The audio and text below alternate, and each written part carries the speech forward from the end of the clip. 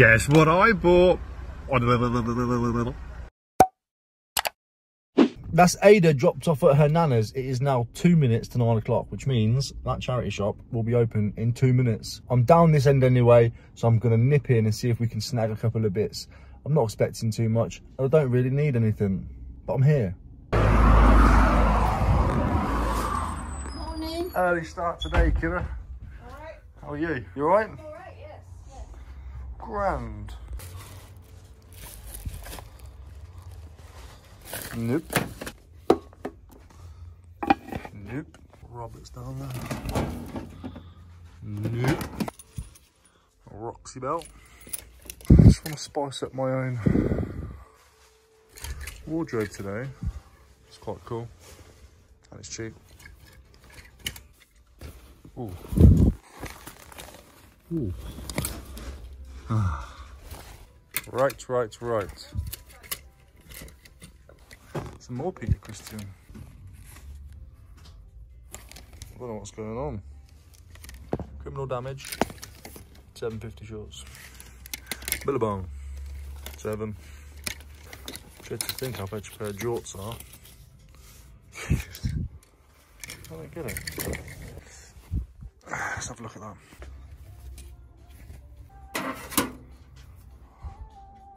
Might be a pickup, you know.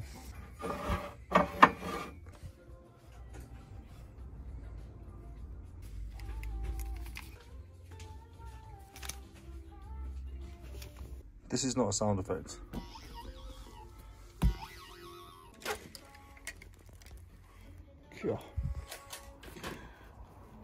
Bet they're only going to be about two quid in that state, aren't they? I should imagine.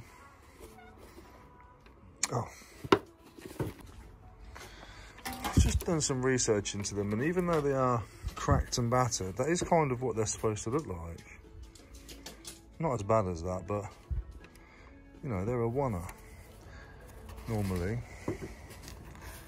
That is just flaking off though. I'm undecided. Good morning, Flower Power. Hello, my lovely. Is it okay if I see the other one of these boots to see what condition that one's in? Boots are made for walking. Like, They're jazzy, they're just tighty, aren't they? Someone's obviously been through the wars in them. Just wondering if it'll come up nice again. Okay, let me give him a bash. Thank you. Thank you, thank you. What's the worst case scenario? Break even? Worst case? Best case? We do well. That goes between the legs, I think. What in the what is that? They're not the best price or condition, but I think there's a same day flip there for 12 to 15. And if I'm buying a lot anyway, might as well. One day I'm going to be able to save that at past the fiver. Beautiful stuff. Thank you so much. See you later. Thank Have a good day. Bye bye. 45 quid spend down to a 40 quid spend. I've took some chances on some stuff to be fair, but you'll see that I've actually brought a couple of bits to average the price down. So some two pound into tens, some two pound into sevens, that kind of thing, just to bring the average price on them risky items down. There we go. I did the lawn last night, so I've left it all out because I'm a gangster. Oh shit. Oh no, I think they're from yesterday. That could be a late defect. Fuck, oh, and that. I haven't even done that. Oh my god. So I was so busy yesterday, I actually forgot to come back in the garage before the end of the night to close the night down and realised I forgot to, I've got two parcels sitting there and this one to do. This one doesn't have to go out today, but I've wrapped those yesterday, so I'm wondering if they're going to be a late delivery. I don't know. So I'm going to have to get them sorted out first before I do anything. I'm going to finish packing that. All I've got to do is put some cardboard around that. I bubble wrapped it for myself yesterday to take away some jobs today. Fucking what an idiot. I'm just, all I can do is pray in it. Uh, the MacBook battery's low. Don't even know where the charger is. The charger's there for a start. We're having a wobbly start to this Wednesday. That's for the giveaway coming up. Nintendo DSi giveaway coming up in the next few videos. Lovely. Where's my tape? dispenser. Just going to use some of the silent tape.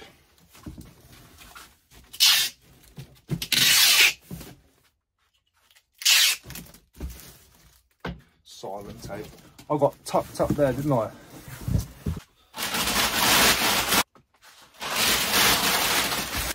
I'm annoyed because in my head, my morning was planned out while I was shopping. Now I've had to come home to this uh, monstrosity.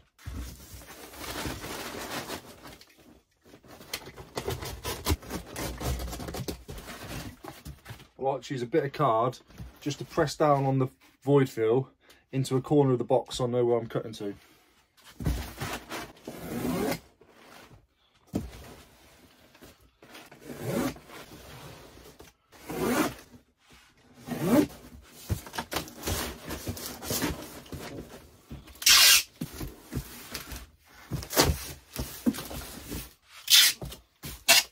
Close that garage door because it's a bit too much that sound of that tape. Low noise is a load of bollocks. There we go. turn that on for a start. Right, that's going to be 5 to 10 kilos. That's annoying. Well, we've got a few more sales to pick out, so might as well grab them. The Metallica CDs have been picked up by a viewer of the channel, a friend of the channel, Rebecca. I really appreciate you, mate. £10 plus postage on these ones. These were from the car boot sale, I think, where I picked up the chest Lego. Really appreciate your business. Get these on the way to you shortly. You didn't give me any socials to plug or anything, but if you do have any, let me know. I'll do it on the next one. We cardboard these, I think. Cardboard, fold them, cut some excess off. There we go. That should fit nicely into there. Should. It won't. Where's my big one gone? I ran out of big envelopes. Fine, I'll make my own padded mailer. Can't stop me. But wait, I am the universe trying to slow you down. Not asked. Can't hear. Thank you, Rebecca.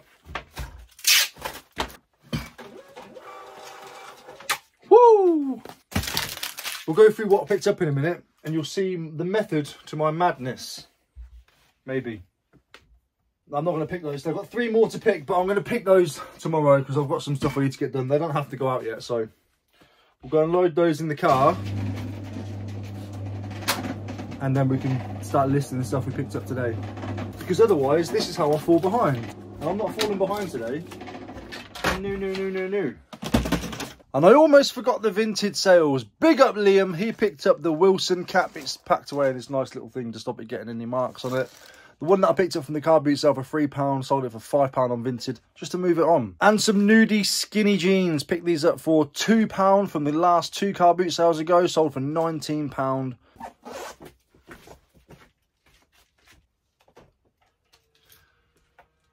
I really hope those two are not late deliveries. Oh, well, if they are, they are. What can I say, hey? Not much I can do about it now. No point letting it take over my brain. So I spent £44.95 in there with a £5 discount because I used my loyalty credit. Every time you spend £100, you get a £5 credit. And I get that credit quite a lot. So £39.50 or something like that. I can't remember what it was. Get the laptop up, we'll do a little bit of research as we go along. So no particular order, for £2.50, picked up a FurReal Friends rabbit. I am going to have to check to see if it's uh, in working condition or not. Normally, when they've got battery leakage, it does say as found. So I'm guessing, I'm assuming this one's going to be okay. But I wouldn't normally pick stuff like this up, but I think this will get about 12 to 15 pound back on eBay. So that's going to start bringing down the average of some of my more riskier items. In fact, let's just get to the risky stuff. I say risky because of the price and condition of these items. So for eight pounds, eight pound, I brought some Converse metallic purple lilac-y trainers. They are a size, so much tongue, so much lace. They're a size 4.5 paid £8. They're quite a rare little colorway. Structurally, they're sound. They just need a little bit of a clean-up look. So I mean, like, a little bit of glue showing just there. But structurally, they're sound. They're a little bit different, a little bit more unique. £8. I'm hoping for a quick, quick flip on these. Or I could list them for just below average and let them wait for a bit. I might just go for a say, £8. I might try 15 I might try 15 to 18 pounds, see if I can make a few quid, six or seven, which brings the price down on the other risky bits again. But a lot of this stuff was like bought in consideration to the first two purchases I made, which was the pairs of shoes. I'll get to the ones in a second. House of Tweed purse, £2. No idea on value. Should we have a look? People are getting 8 to 15, up to £20 for just a purse wallet. Really, really nice condition. Really, really good. £2. So hopefully that's going to start bringing down the cost average down. Picked up an ashtray. I don't know the brand. It was a pound. It's big and it had a brand name under there somewhere. So the Ravenhead Co Limited. So the same the same one with the clover leaf in the middle sold for seven pounds plus free postage from United States. So for a pound, it might just be a trinket jar for me. Butterfly Twists shoes, ballet shoes. They fold up. They are in remarkable condition. Really, really nice condition. They were three pound down to one pounds fifty. Size 37. So they're a ladies size, not a kids again, if I can get 8 to 12 out of these, it's just going to bring the average down on the risky items. Roxy belt, Y2K vibes. It is a Roxy Life. It's got that sort of punk rocker, um, punched holes all the way through it kind of thing. Little spell out on the front there, spell out on the clip there, and a spell out just down here. For £2, I'm hoping 8 to 12 back on that. This, I'll tell you what, the signal in there, I swear they've got reseller jamming capabilities, like network blocking or something. But the network in there is always horrendous. I had to stand outside for five to 10 minutes waiting for Google Images to load up on this to get this to go. But when I did, £3.25. People are asking around about 35 quid, depending on the size. I haven't done a full research into it yet. But what I did realise was £3.25 is a good pickup. No idea on the resale value of this, but for £1.75, Canadian Police Force number plate. Obviously, it's a placard. It's not actual number plate, vintage plate. Uh, normally get about a tenner for plates, but I'll see how much it's worth. But again, my main objective today was to bring down the average. But these were a nice little find. These were bought because they were worth it. So these are Boggi Milanos, but they are four pounds. They were only four pound. They're a wool blend trouser. eBay job these are, not vintage or, any, or whatnot. eBay job these. Boggi Milano. They should be doing 30 to 50 pound on these ones especially being a wool blend. 98 percent wool yeah very very nice indeed. So nice little label to be looking out for. Four pound paid. And the last part of the risky biscuit purchases. This is my main reason why i bought the bunny and the ashtray and the glassware and the belt was because i can flip them quickly for a lot lower than the market value because i've got no intention of holding on to them which will then bring my spend down. These were 18 pound. Now these are supposed to look a little bit tatty. Oh, oh no, I'll pick this up as well. I'll show you this first. No idea. 1997 Seattle thing on the Yonkers tag. So that could be worth 10, 15. It could be worth £2. But yeah, these are supposed to be a little bit like that. They're, they're oil painting. They're a copy of an oil painting. Can't remember the one. Something to do with resilience um, Uprising and Lies or something like that. But they are supposed to be a bit tatty. But I think these ones are just a bit more tatty than the tatty they're supposed to be. Although inside, it's like a brand new shoe in there. It's like a brand new shoe. So, £18 was paid. All the ones that I'm seeing online do have this flaking, crinkling effect. I think it's supposed to, but it is. I think this one's gone further than what it's supposed to. Yeah? So, that's why it's a bit risky.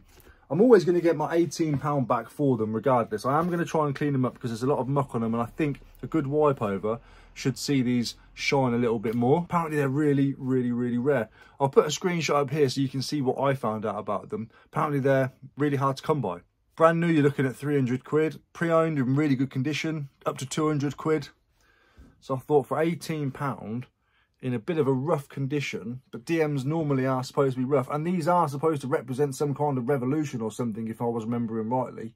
So, uh, you know, you're going to get your toes dirty in your revolution. I just wished more of the UK was wearing revolution boots right now.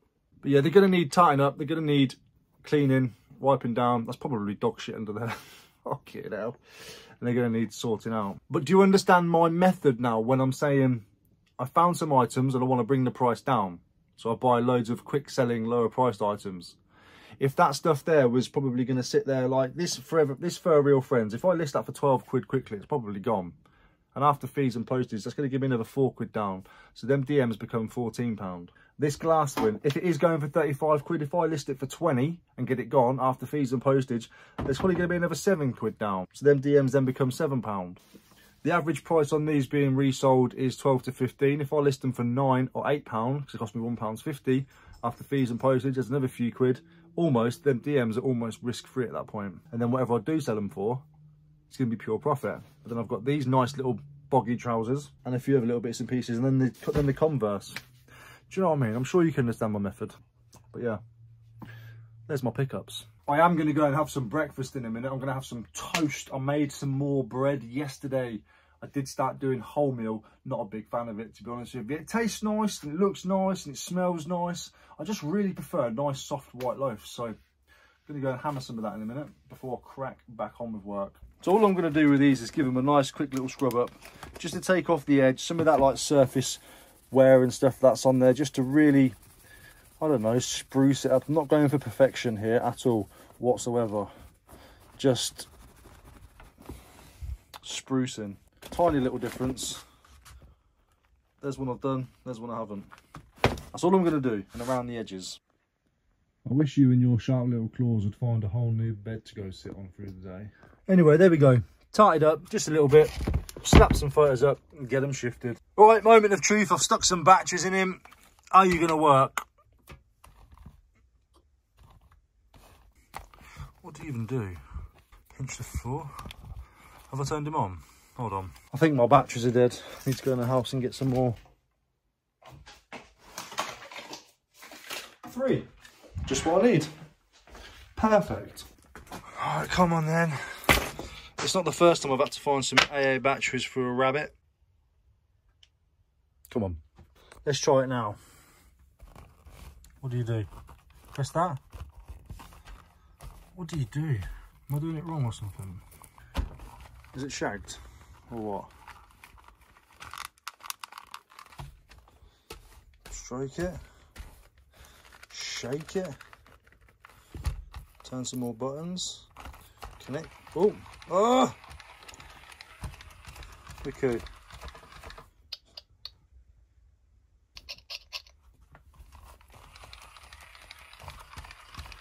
Right. I think it works. It is going to need a hell of a lot more looking into than that though. For the battery? Looks a bit disabled though, doesn't it? One of his legs are bent and stuff. Do you know what? I've had enough of that one today. I don't think that's taken much time at all. I am going to change that clock. I do enjoy having the clock in the background because when I'm editing, I can see how fast I'm working. But that's everything apart from the Dr. Martens boots and the ashtray because I'm not going to bother listing the ashtray, I don't think. Photographed. Now I just got to list it. So that's them cleaned up. That's the best I'm going to get them. That's the most effort I'm going to put into them. I literally just wiped all the dirt off around the edges, give them a quick wipe over on the top. You have to be careful. It's almost like fish scales or stroking a dog. You've got to find out which way the grain goes and then wipe down with the grain. So that's all I'm going to do with these now. That is it. I'm going to get them listed and hopefully get a nice quick flip. So I'm going to price them competitively, but I am going to do some research into the condition, see what the average condition is over time, see how bad they get and see like roughly how far these are. Does that make any clear sense to you guys? But that is what I'm going to do.